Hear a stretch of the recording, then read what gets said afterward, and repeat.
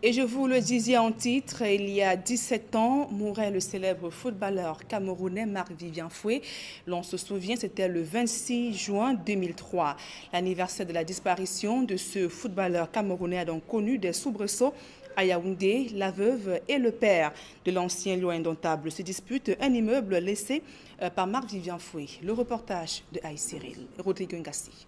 17 comme le dossard de Marc-Vivien Foué. Il y a 17 ans, depuis le 26 juin 2003 que l'ancien lion indomptable est décédé au stade Gélant de Lyon en France. Curieuse coïncidence, le 17e anniversaire de ce triste événement est célébré dans la tourmente à Yaoundé. Les serrures ont été renforcées sur l'un des immeubles laissés par l'ancien footballeur, tandis que du sable a été versé à l'entrée pour empêcher aux locataires d'y accéder. J'ai trouvé la porte fermée en venant le matin, donc euh, je ne sais pas ce qui s'est passé. J'ai juste trouvé euh, du gravier versé devant les bureaux et des portes soulées, donc euh, je ne sais pas, mais nous sommes là, nous attendons la suite. Nous les locataires, nous on a juste nos bureaux et on attend juste la suite.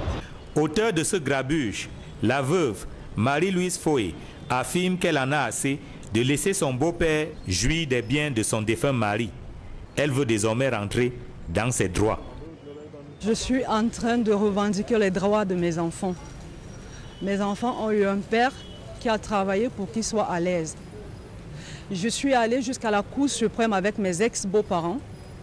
Depuis 2015, j'ai une décision de la Cour suprême qui permet à mes enfants d'avoir les droits de tout ce que leur père a laissé. Mais il m'est impossible de faire exécuter ces droits. Malgré la décision de justice que la veuve dit tenir, mais dont nous n'avons pu avoir copie, les locataires reconnaissent plutôt le père de l'ancien footballeur comme bailleur. En tant que locataire de cet immeuble, nous reconnaissons M. Fouamougou.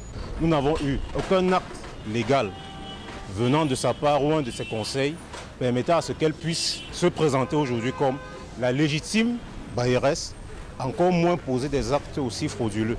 La bataille juridique entre la veuve et sa belle famille dure depuis 17 ans. Marie-Louise Foy dit avoir saisi cette date historique et symbolique pour marquer le coup.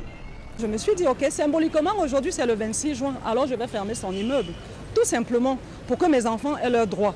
Je n'ai aucun problème avec les occupants de cet immeuble. Mon souci, c'est que la loi doit être rétablie. Tout simplement. J'ai des documents. Alors pourquoi mes enfants ne peuvent pas avoir accès à ce qui leur appartient? C'est la question que je me pose aujourd'hui. Ont-ils des droits, oui ou non, 17 ans après?